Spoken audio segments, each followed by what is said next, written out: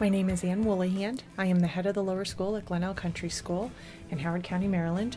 And we became um, involved with the Marshall Legacy Institute back in 2008. And since then, we've been doing a student communication program with them.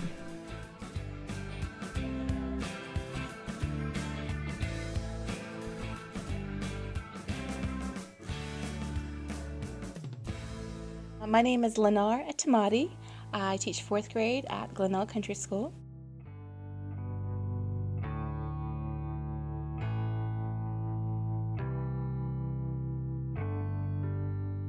The country is so misunderstood, the kids are misunderstood, the philosophy is misunderstood because of the war and the Taliban, that the true essence of what Afghanistan stands for is just lost in translation with the terrorists.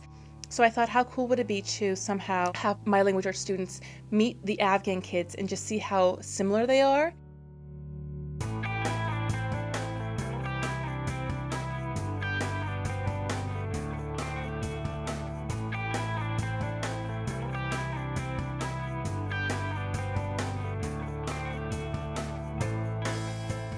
That understanding that there is a thirst for peace. That's what one of the students had said to Mrs. Newell and I a couple of years ago when we were having our communication meeting.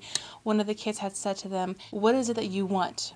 from us because we were getting gift packages ready and uh, treats and candies, goodies, school supplies, art supplies for the little ones, their brothers and sisters. And we kept saying to the kids, okay, we're going to be sending gift packages over to you. What is it that you would like for us to send home to, to you? Music, uh, sports equipment. And one of the boys said, peace. He said, We are thirsty for peace. So if you could send us peace, that's what we want.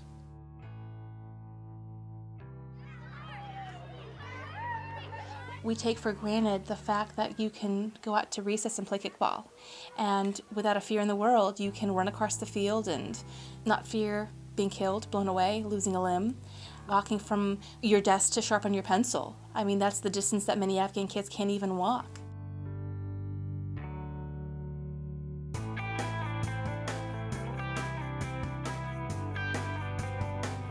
To clear land so people could use that land is just it's a huge project.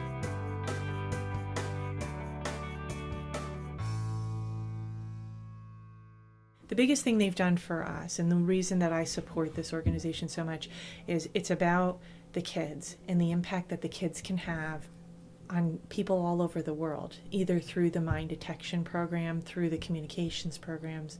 They do huge things already for kids. They showcase kids, they spotlight kids, they're putting the responsibility back in the hands of kids.